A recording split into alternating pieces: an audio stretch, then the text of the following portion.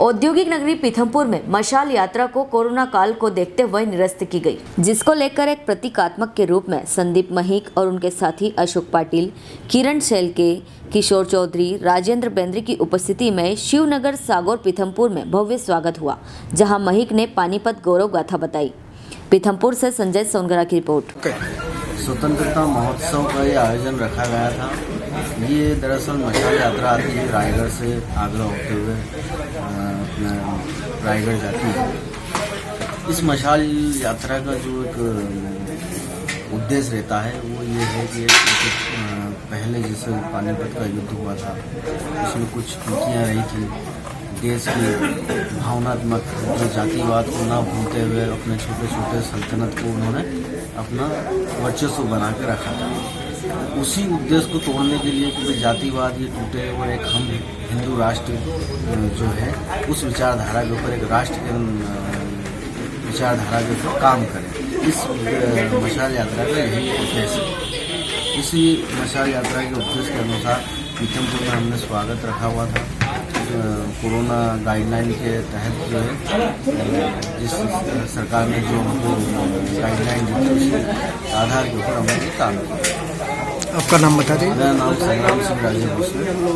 लड़ाई को 200 100 वर्ष पूरे हो रहे हैं। और ठीक इसी वर्ष भारत के तीसरे स्वतंत्रता दिन का भी पचहत्तरवा वर्ष चल रहा है। छत्रपति शिवाजी महाराज ने हम सब लोगों को इस देश में पहली बार स्वाधीनता दिलाई। अभी तो हम उसको भूल गए।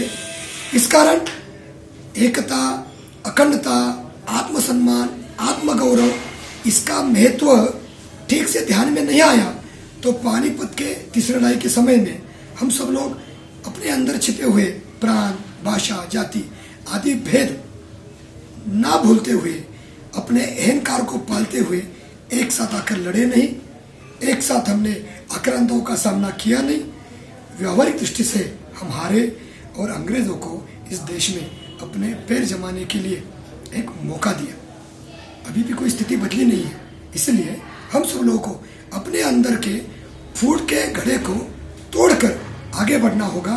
तभी ये तीसरे स्वाधीनता का अमृत महोत्सव निचोड़ लाएगा और भारतवर्ष विश्व गुरु के नाते पूरे राष्ट्र को पूरी समाज व्यवस्था को विश्व की अगुवाई करने के लिए प्रेरित करेगा। आपका नाम बता दीजिए। संदीप महिंद्र रायगढ़। हेलो फ्रेंड्स आप देख रहे हैं हमारा channel S W twenty four news हमारे सारे वीडियो सबसे पहले देखने के लिए आप हमारे चैनल को सब्सक्राइब करें और पास में लगे बेल आइकोन को दबाना बिल्कुल भी ना भूलें।